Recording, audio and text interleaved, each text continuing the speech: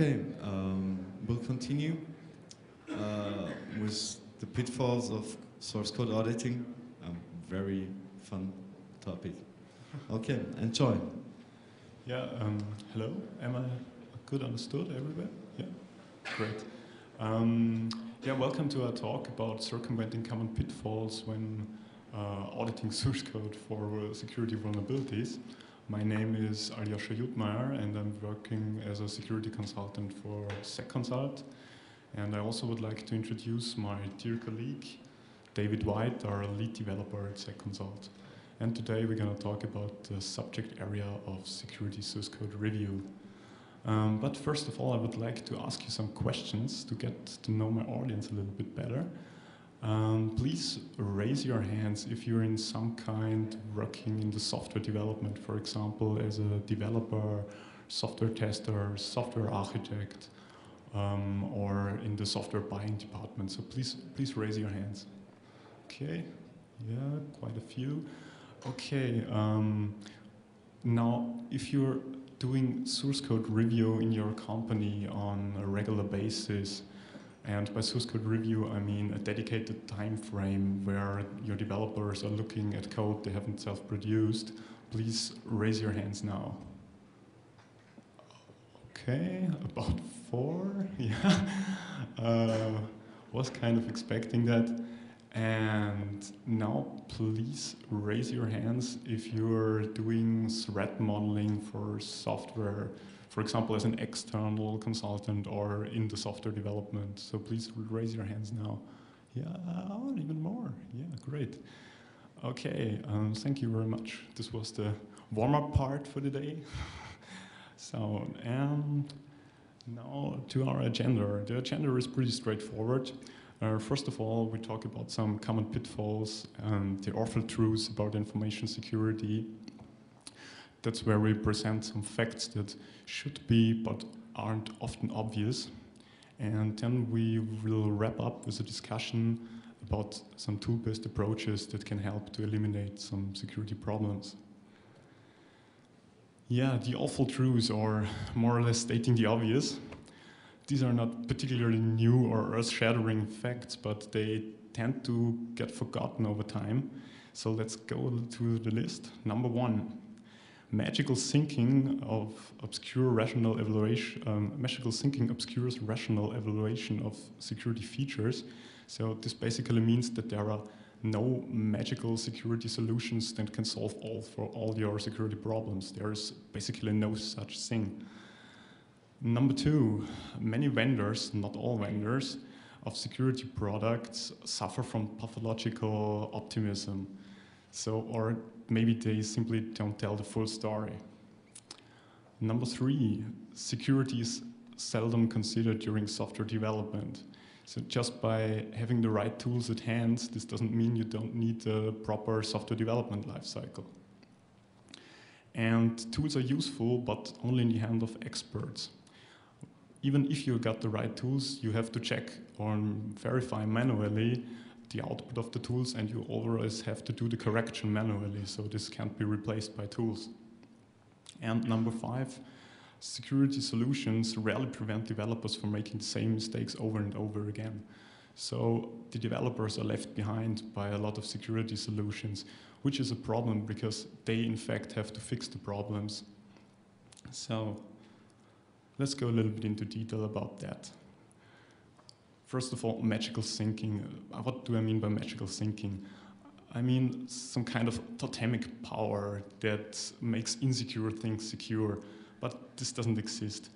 And why is this? Uh, why is this? Because security sometimes refers to the to security features. What are security features? Security features could be anything. That could be an appliance. That could be a scanner. That could be a software or framework, or it could be the use of cryptography. But what's the problem? Um, there are some exist these security paradigms that just by putting something like that or buying something like that and put into place, turn it on, you don't achieve security. And there's a nice comparison when you look at on, on, on this gate here, on this border. Um, when you take a little closer look on such things, uh, you see that in most cases in reality such default measures are easily circumvented. So there is a difference between security features and secure features. The one thing is uh, something that can help you with security, and the other thing is the secure implementation of functionality and business logic. So in the one case, you are robust by design. this means there's a difference from protecting, uh, buying a tool or something like that that tries to protect from the OWASP top 10 vulnerabilities and having all developers that are lead and expert in their area of knowledge. So number two, um, yeah, some vendors, not all of them, do not tell the full story. Um, I advise you to grab a flyer, get informed, and make up your own mind about statements like that. Can do everything. So that's that's the quote. But I wouldn't want to go. Yeah.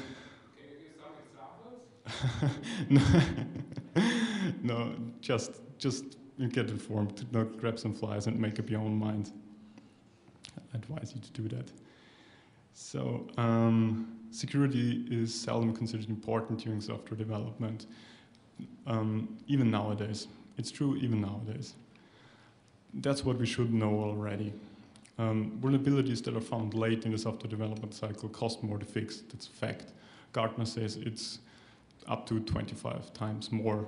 So the logical consequences would be to fix them early and to invest in quality assurance and testing. But sometimes this is not the case. And as a result, if the errors are found in late stages, they won't get fixed because it's too expensive. They hope nobody finds them. Uh, so you may argue that um, when we talk about errors that are not this could be everything. This doesn't have to be security relevant. So what is a security problem?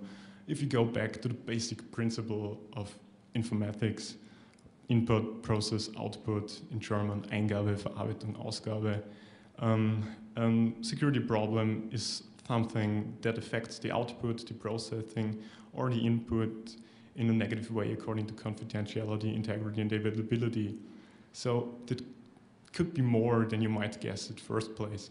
For example, um, a big German bank, not even a year ago, was in the news because some of their customers of the online banking became billionaires overnight. The reason for that was a software bug, and um, due to the fact that their balance was 92 billion euro, there's a nice theory about what this bug might be. Um, if you're if you're looking at a signed integer, 64-bit uh, signed integer, it is it can hold when you express it in euro um, about 92 billion euro. That's because the last two digits are considered a cent. And the binary representation of that value would be 64 times a 1.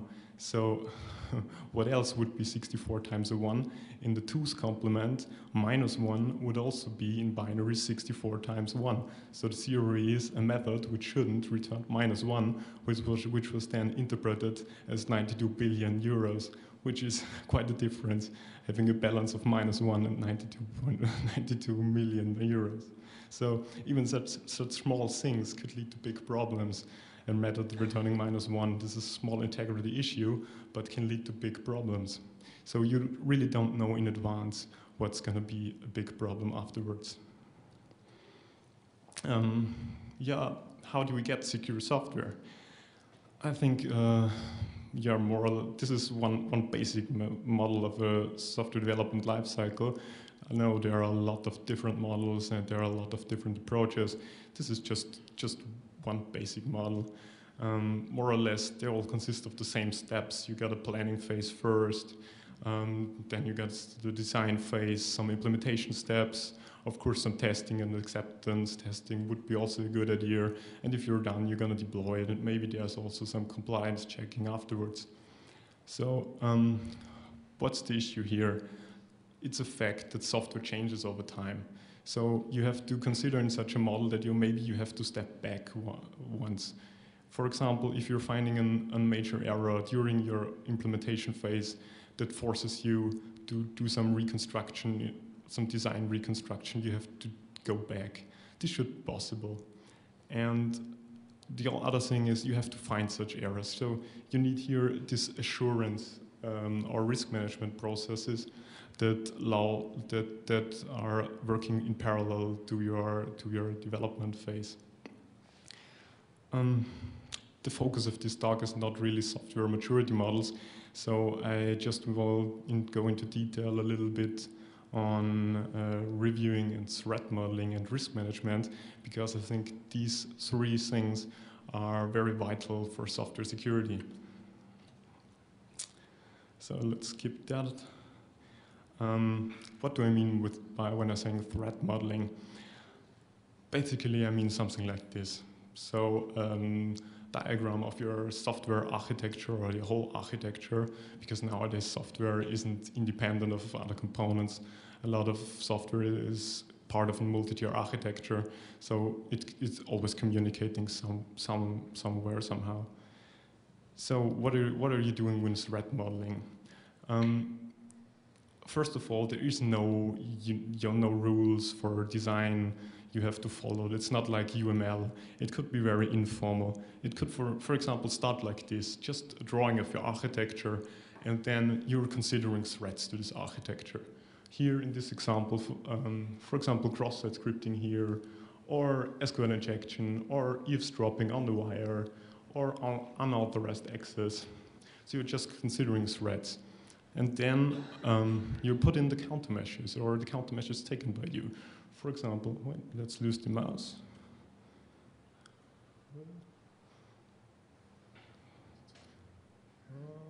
where is it? Oh yeah, here's it. For example, against um, unauthorized access, it would be a good idea to use authentication and authorization methods. So you put them in place here. Against eavesdropping, it would be a good idea to use encryption. So you can use a lock here to show that you're encrypting this channel and you can use really any notation you want. There are no strict rules. It's important that it, it, it should be understandable by you and your employees. And what else is a good idea for threat modeling? Um, trust relationships among components are really important. Um, trust relationships show you where to uh, set security controls. So for example, in this, in this case here, you get a trust boundary because there you come to the external users that are communicating with your front end. So there's a change in the trust relationship. So you get a trust boundary here where, you take special care of all the inputs.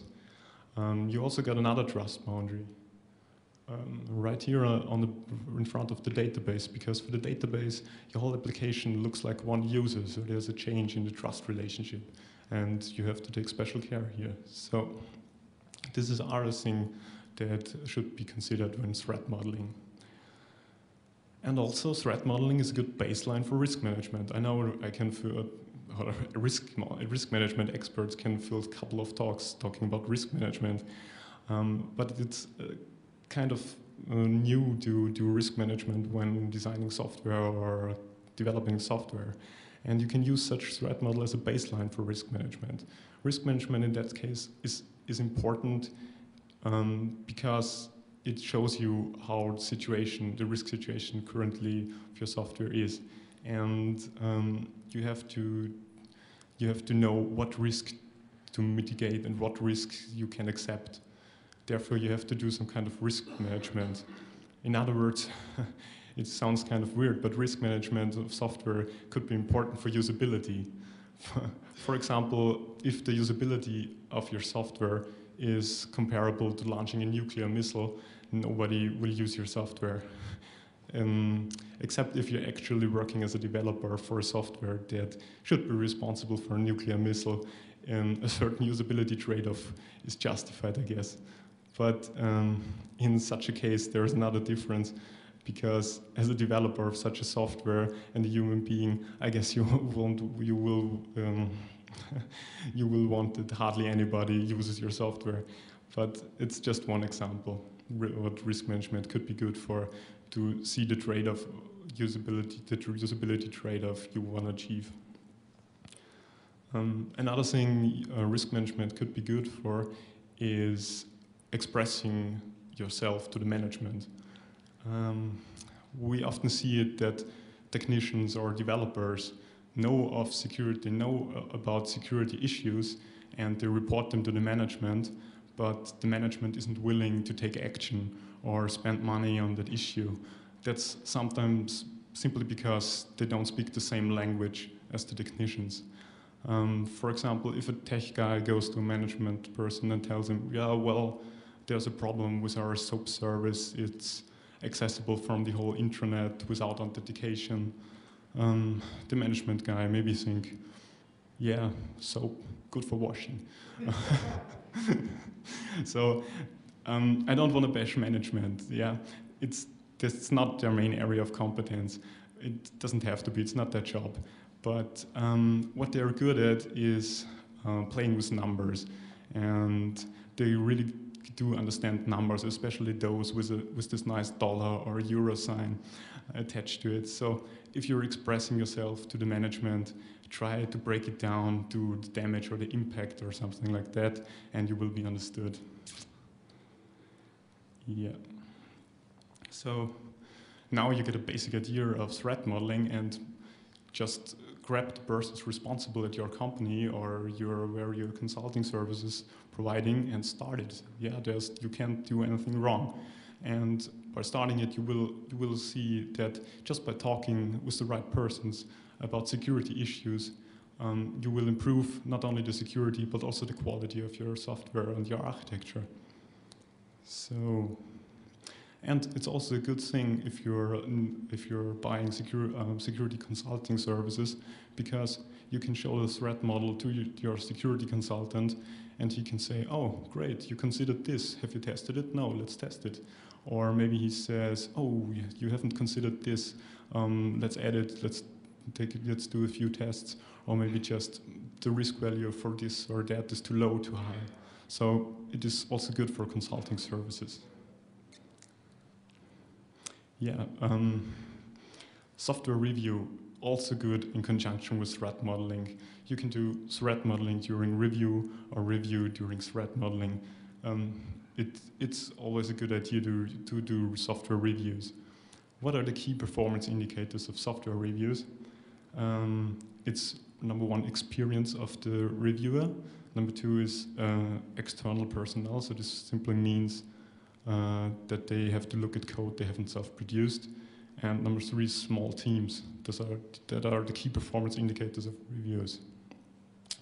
Um, yeah, in this book, Modern Software Review, it is said you can, five, you can find 35% up to 90% of defects during software development by doing regular reviews.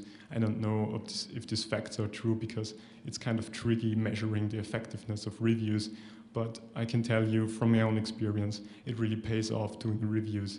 So um, I advise you to do so.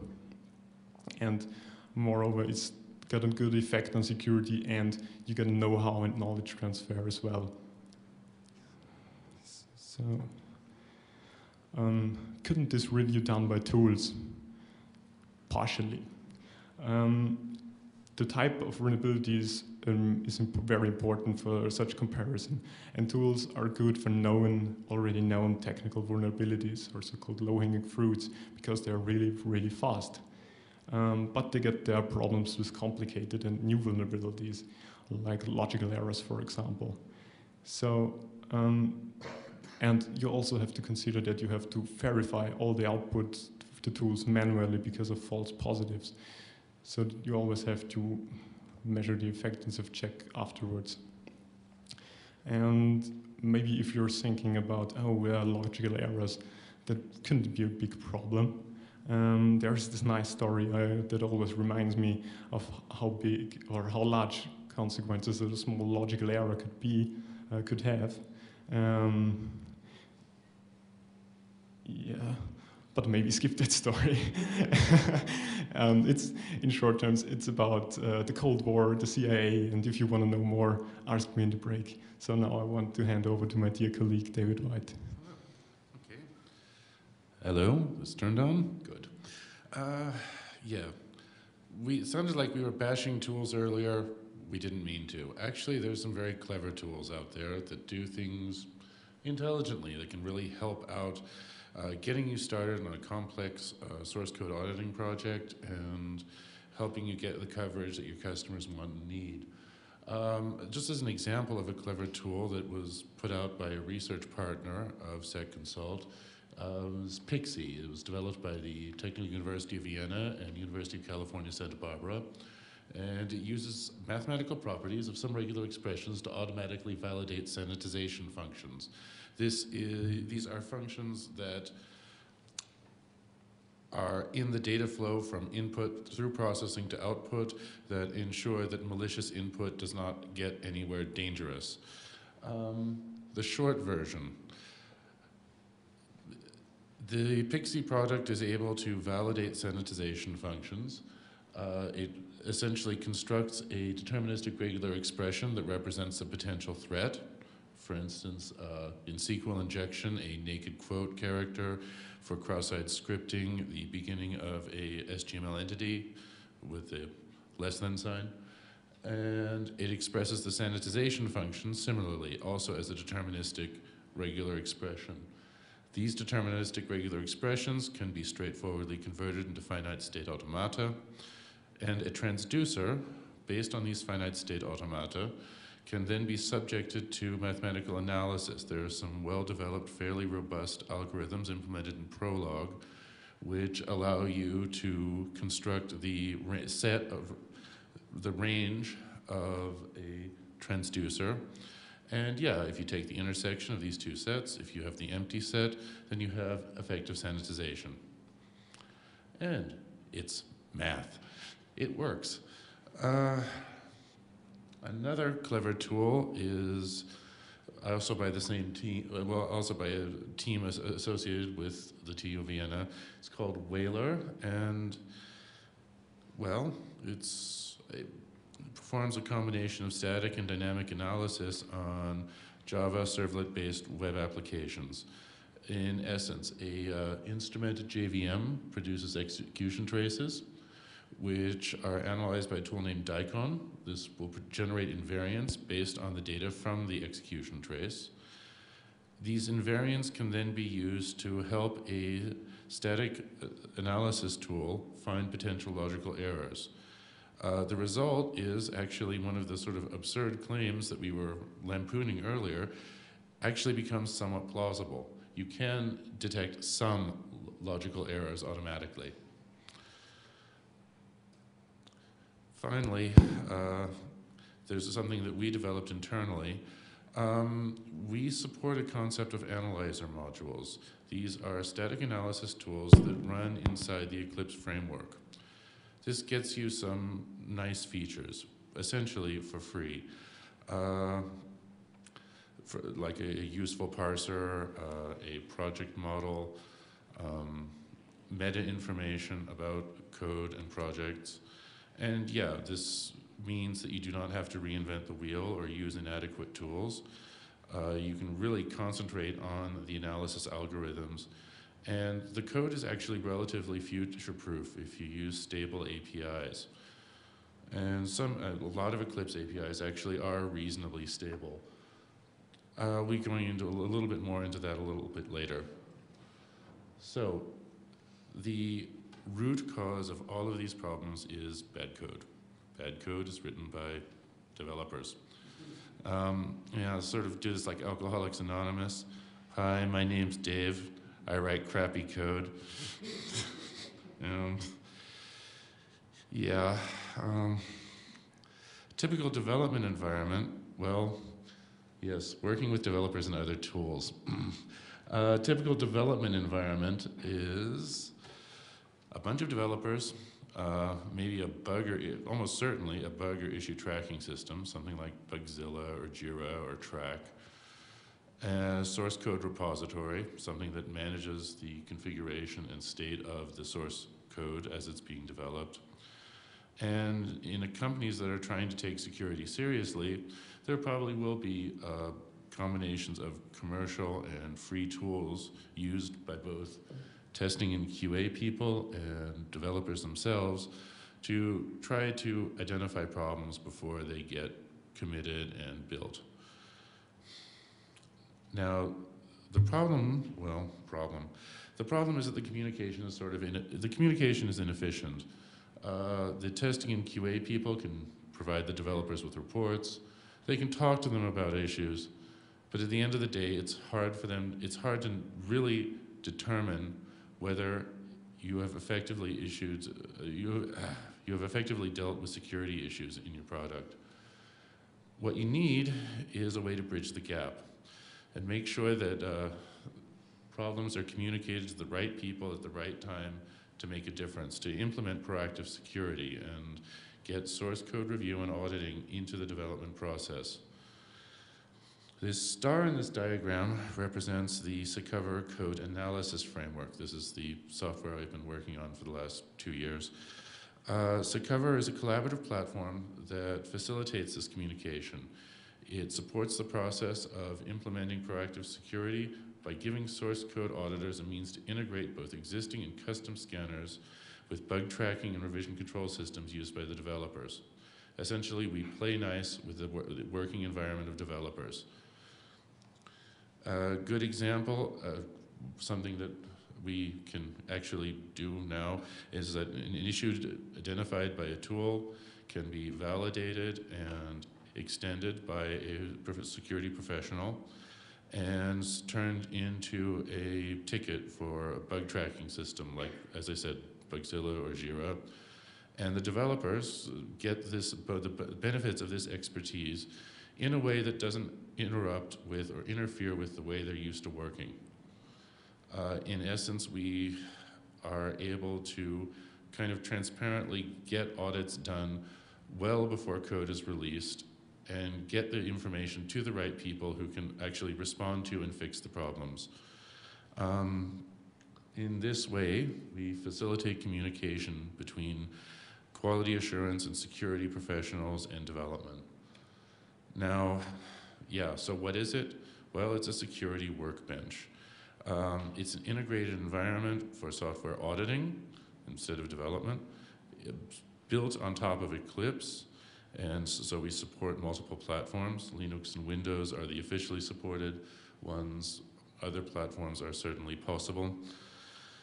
We support a, a, wide variety of programming languages. Pretty much anything Eclipse can handle, we can too. And also a wide variety of, de development infrastructure. Um, we have, we can pretty much hook up with any uh, source revision control system in use that supports the Eclipse interfaces, um, as well as any of the supported bug tracking system with a Mylyn connector.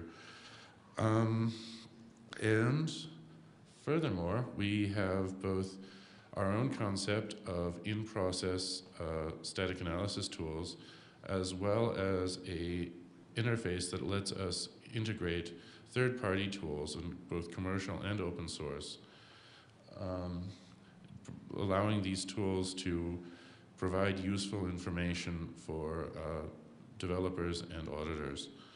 So in short, oh yeah, and I almost forgot, we also we use it to generate really, really attractive reports and wonderful statistics to help management know that their money is actually being spent on something useful.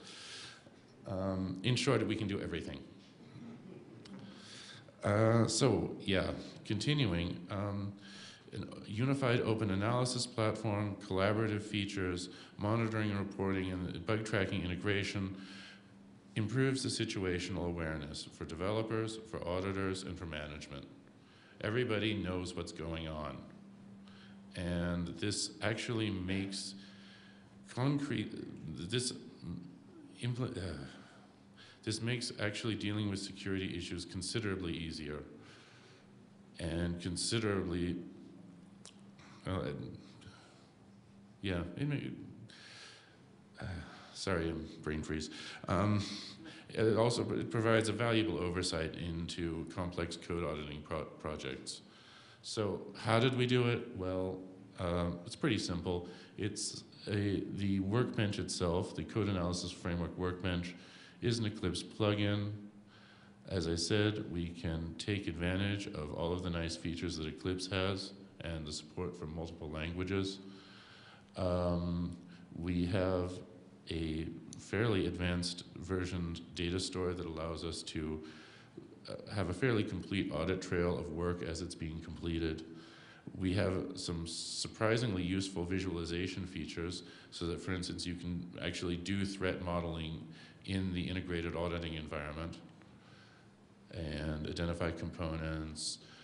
Um, we generate we generate wonderful reports, as I may have mentioned. Uh, we have open APIs, which means it's fairly straightforward to extend our product. And offline functionality. You don't need, strictly speaking, to be online all the time.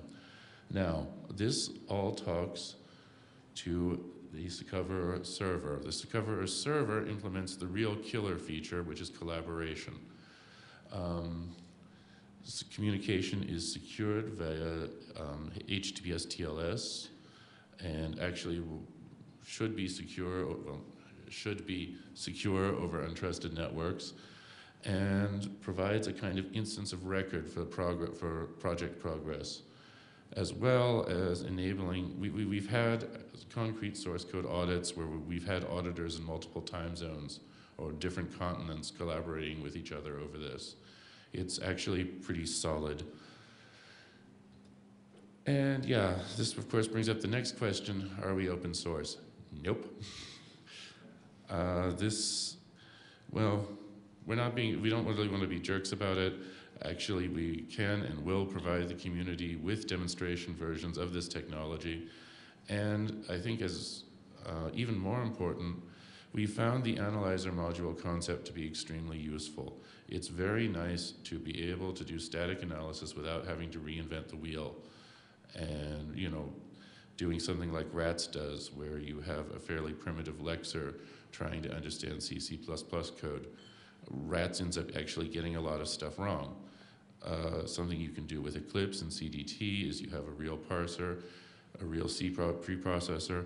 It understands things like macro expansions. It understands things like aliased functions. It can compare types. It just makes it a lot easier to work better with static analysis if you don't have to write your own tools all the time. And um, we're hoping that, or we've actually are concretely planning at some point in the future to provide an open source framework which will support the same analyzer module interface that we use internally. Uh, the benefits would be then that uh, we would not only be able to provide some of the technologies we've developed to the community, but we can also work with the community and with, for instance, academic institutions, um, save grad students a lot of work and let them concentrate on coming up with new and clever approaches to understanding source code and yeah. So, in short, we have a wonderful platform that can do everything. Well, not quite, but it, it does address a lot of concrete and practical needs that arise when auditing. We can distribute work among our consultants, or among our auditors. We have better channels to communicate and cooperate with our customers and really help them out while they'll and, and really help them out and help eliminate problems before they arise. Um, we have ways of essentially taking um, advanced technologies from academic and research projects and applying them to real concrete issues in real concrete products that belong to that are being developed by our customers and yeah we, we support and automate the process of implementing secure software uh, do you have any yeah, so to sum it up, um, keep in mind that software security is just a subset of software quality and that secure code reviews and audits can increase both security and the quality of your products. And um, the thing is these tools can help you, but you, you can't replace humans in such a complex scenario completely by tools. You always have to have someone that really checks the results and that do manual verification. And of course, you have to do you have to have someone that really corrects and fixes the issues. And maybe it would be a good idea to help those people while they are doing this. So. Um, really, Um, but the really important issue is it does boil down to communication and providing a meaningful context to evaluate and share to evaluate and share findings as they come up and communicate with the right people at the right time. Thanks for your attention. Any questions? Yeah, thanks for your patience.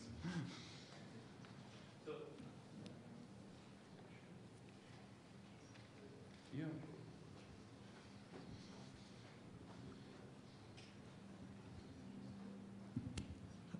How well does it scale? And let me explain what I mean by scale.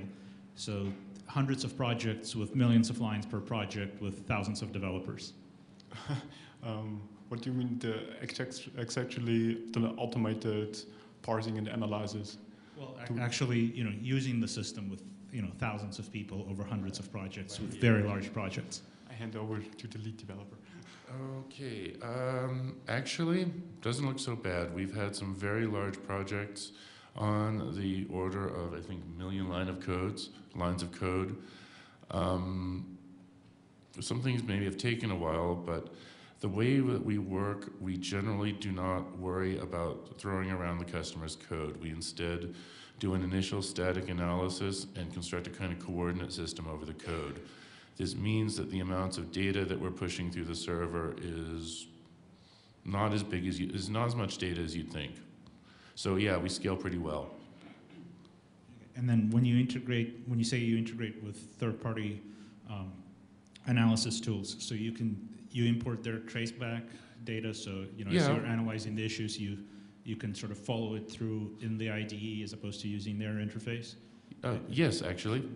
And how do their um, how does it work with their like licensing things? Because I know some of them really want you to go through their UI because that's the only way their license servers get hit. Ah, Okay, no, I think I understand. I think I misunderstood you a little bit. Um, for a lot of these products, there is usually a way of doing things that is within the licensing agreement of the vendor. Um, for instance, an entirely plausible way of getting something into our system would be to take a generated report, run an XSLT over it, turn it into our import format, and Bob's your uncle. It's taken care of. All right, thanks.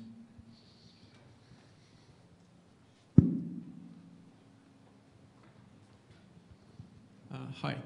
You uh, mentioned the possibility of uh, automatic detection of uh, logical flaws. Can you provide any example of that? Um, yeah, that was uh, part of the research project we're currently working on with the Technical University of Vienna. Um, yeah, you always have to consider that it's possible in some cases. So what, what the Technical University of Vienna does in such a case, they provide a modified version of the Java virtual machine and they're basically analyzing the control flow of the software. So they're learning how the software works and then they are monitoring the software during runtime and um, feeding the software with test data, and then they can see um, some ki- uh, kind of, or maybe they can guess uh, where logical vulnerabilities may occur. It's always the matter of um, how concrete the results, how you concrete you want the results. It's possible in some cases, so there is no universal way. Okay. he wants to say also something. yeah. Um, in the paper describing Waler, uh, concretely they discover automatically an authentication bypass vulnerability. So yeah, a real world vulnerability in, I believe, a open source Java servlet based web app. Um, manual testing for logical vulnerabilities won't be, uh, uh, will still be required. so Don't worry. Any other questions? Um, we can provide you with the paper if you really want to read it. Yeah, I guess there are no questions left. Every time, maybe I can tell the story now. okay. Do you wanna? do anybody who wants to hear the story about logical vulnerabilities? Okay, yeah, so I tell it. Um, um, during the Cold War, about uh, I guess in 1982, uh, the Soviets want to build a pipeline somewhere in Siberia, but of course they haven't had the technology and the software yet. So they tried to steal it from the US. But the thing is that the CIA noticed that and was able to modify the software before they fell into the hands of the Soviets. So the result was that there was a small logical error in the software that produced a wave in the whole pipeline system while it was running, and the result was a big explosion that was even visible from space. And that's really a case where the description logical bomb really deserves the name. Yeah. And so small errors and small logical vulnerabilities can even have big consequences. So always remember that. Thank you very much. I guess we're done.